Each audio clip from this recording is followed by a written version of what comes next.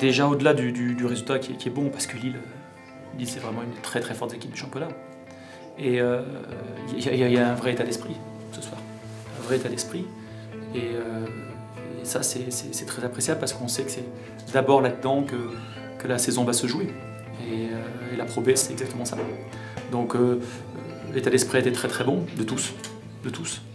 Euh, et puis ensuite, il y, a, aussi le contenu basket qui a été, très, qui a été bon ce soir, surtout avec euh, l'arrivée de deux joueurs euh, depuis en fait une semaine, tout juste, donc qui se sont très vite intégrés, qui sont très intelligents, voilà, et qui sont travailleurs. Donc ça, c'est très très très positif. maintenant, j'espère qu'on arrivera à garder ce, ce bah, au moins déjà cet état d'esprit-là, cette envie-là, l'envie de jouer ensemble, l'envie de voilà, de quand, tout seul, on va plus vite, ensemble, on va plus loin, tout simplement. Donc euh, il faut être ensemble pour aller le plus loin possible.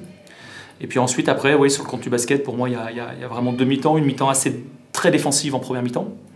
Euh, bon, Lille n'est pas la meilleure défense pour rien non plus. Et puis une mi-temps un peu plus débridée en, seconde, mi-temps, où, là, c'est parti sur des, avec beaucoup d'adresse. Je pense que c'était un match plaisant. C'est vraiment été un match plaisant. En tout cas, pour nous, on a pris du plaisir. Et, et c'est très important aussi si on a pu en donner aux autres.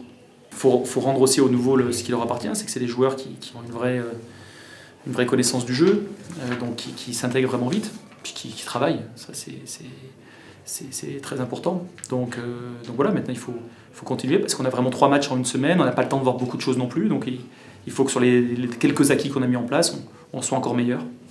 Ouais, c'est une belle victoire. on sait que Lille est deuxième au classement, donc ça fait du bien de le prendre celui-là.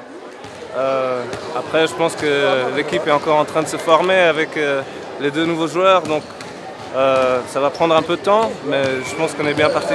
J'ai essayé d'apporter un petit peu, je pense que ça s'est passé plus ou moins bien, mais dans le futur, j'espère apporter encore un peu plus.